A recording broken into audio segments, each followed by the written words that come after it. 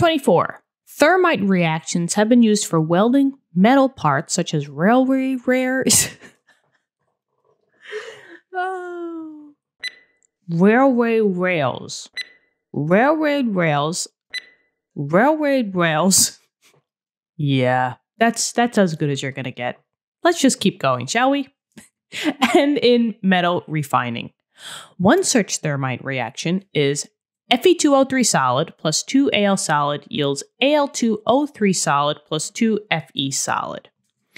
Is this reaction spontaneous at room temperature under standard conditions? And then during the reaction, the surroundings absorb 851.8 kilojoules per mole of heat. Okay. So, the question is basically asking is this reaction spontaneous at room temperature? Now, we only we only basically know two things, right? We have Fe2O3 solid with this balanced equation, and they told us that the surroundings absorb 851.8 kilojoules per mole of heat. Now, since we're talking about the second and third laws of thermodynamics, we're talking about entropy values, and entropy values are delta S values. Now, when you're talking about is a reaction being spontaneous or non spontaneous at room temperature under standard conditions, we're dealing with a delta S that's very, very special. And that's this formula. It comes from this formula right here. Delta S of the whole entire universe equals the delta S of the systems plus the delta S of the surroundings. Now, let's just maybe put this down here for now. Because this is the ult actually, I'll put this up here. This is the ultimate formula that we're going to use. Only the delta S of the whole entire universe will we be able to determine whether it's spontaneous or non spontaneous. A system delta S value will not tell us that, and a surrounding delta S value will not tell us that as well. So keep in mind that you have two different answers for a universe entropy, change in entropy for the whole entire universe.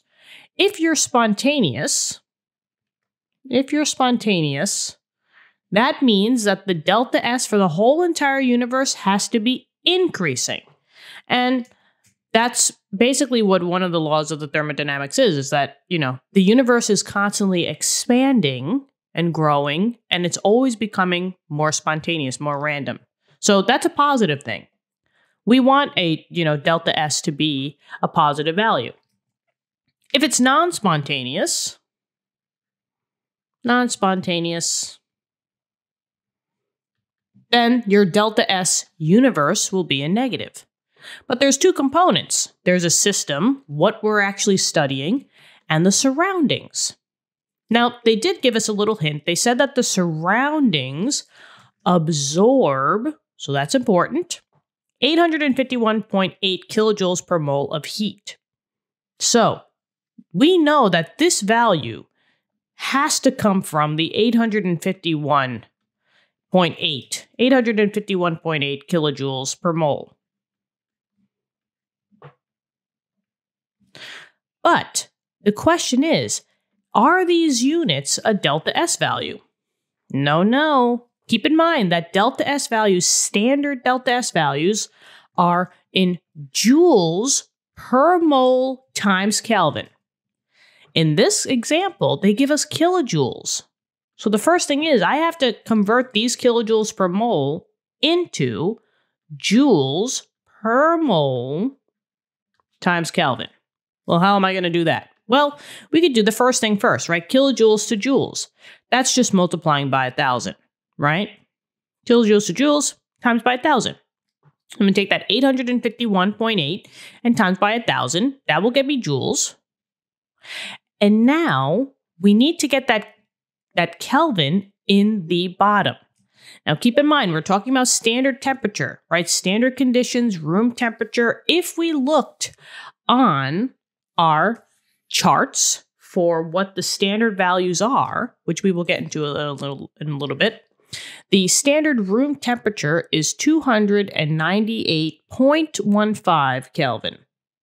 So that's the number that we have to include over here. Now keep in mind that we want to add it in the denominator. So if it's in the denominator, I have to divide, denominator divide, right? We could do dimensional analysis, but I think I think we can kind of maybe get away with just looking and saying, "Oh, okay, this Kelvin is on the bottom, so I have to divide by 298.15." So I have to do two things here. So I'm going to times by 1,000. That's how I get the joules on the top. The moles are already on the bottom, so we don't have to do anything with that. But if we need to add that Kelvin, I have to divide by 298.15. So two things here that we got to do the 851.8. So let's go for it. Surroundings now is 851.8 times 1,000 and then divide by 298.15. So I now have my delta S value being 2,856.95, we'll say 951. And that's now joules per mole times Kelvin. So now we have my delta S for the surroundings. So I'm going to just add this value to whatever the system is. Well, how am I going to find that out? Well, the system delta S is always from the balanced equation. The system is always what you're trying to, you know, discover or, you know, observe. And in this case, the system is what's in that container. And what's in that container is the Fe 2O3 solid plus the 2Al solid yields the Al2 O3 solid plus the 2Fe solid. I already see coefficients, right? I see that I have a 2 in front of the Al, 2 in front of the Fe. So this equation's balanced already, so I don't have to worry about that. But now how do I find out the system with no values? That's when we had to go in the back of the textbook. We had to go in the back of the textbook to find out what those standard state S values, the entropy values for each one of these components. That's what I wrote over here. So what I'm, what I'm going to do is I'm just going to drag and drop um, just to put the numbers to who they're at. So 87.4 joules per mole times Kelvin is for Fe2O3. 28.3 is for aluminum. The 50.92 is for the Al2O3. And then the just the iron by itself is 27.3. And maybe I will just scooch this over a little bit just to say, okay, these were the delta S values.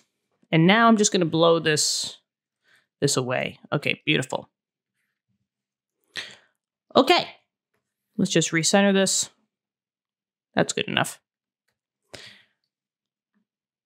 Now, what is the formula this is 20. I think what happened was this was actually. Okay, I just want to double check. I saw a little decimal there that I didn't get. Okay, cool. Okay, well, now if these numbers are going to be solving for the delta S standard for the system, how are we going to crunch these numbers, right? Well, there's a formula. It's this formula right here.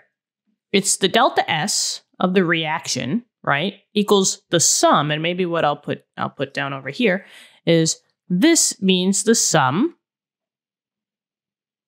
So maybe I'll just put it down here. So this is the sum, which means addition, right? So I'm going to add up all of the S values of my products and subtract them with the sum. Whoop. There we go. That makes it much better, right? I'm going to subtract it with the sum of all of the reactants. So I have to sum up the reactants, I got to sum up all the products, and then I just subtract the two of them.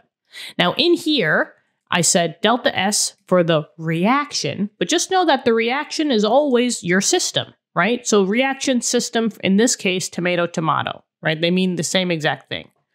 So I can just say that the delta S for the entire system is just products minus reactants. Well, now Let's just figure out what that sum is. We have to take into consideration our balanced equation.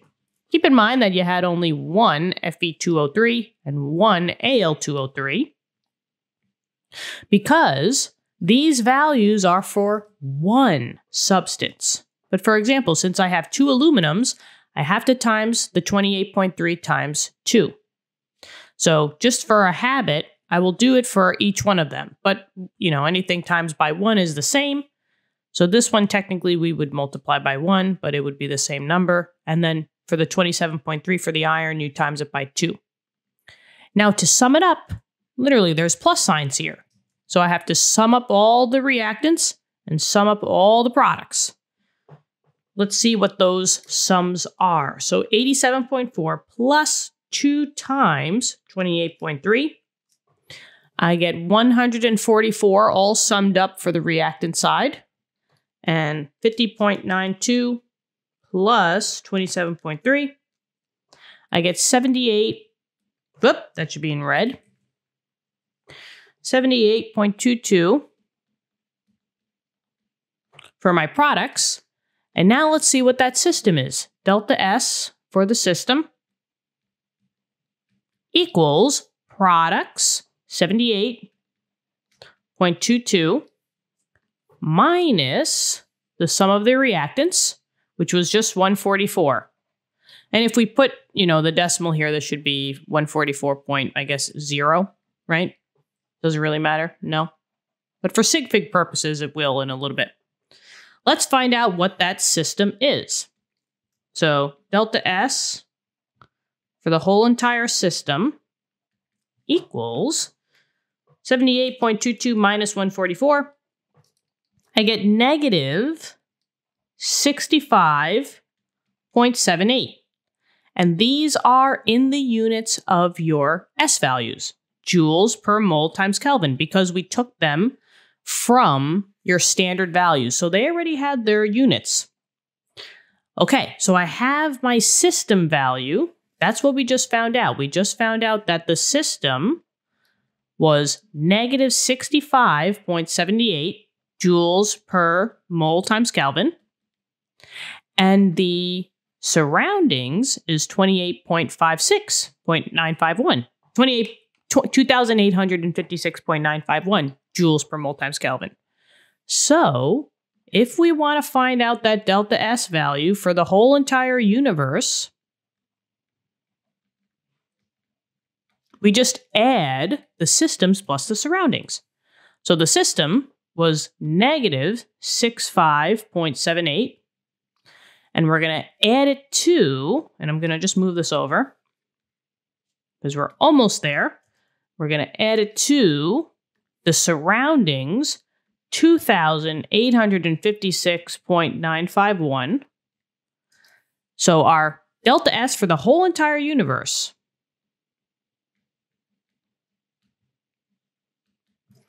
is let's see, 2856.951 minus 65, because it's a negative value, minus 65.78. I still get a positive number, 2,791. If we do sig figs, I mean, we only had one sig fig after the decimal here. So technically, we should only have one after the decimal. So 2. And that is joules per mole times Kelvin. So that's the actual value. But all they wanted to know was is this spontaneous? Well, spontaneous means that that delta S was a positive value. That's what we're looking for. And this is a positive, right? Positive 2,791. So, is the reaction spontaneous? Yes, it is spontaneous because that delta S for the whole entire universe is a positive value, spontaneous.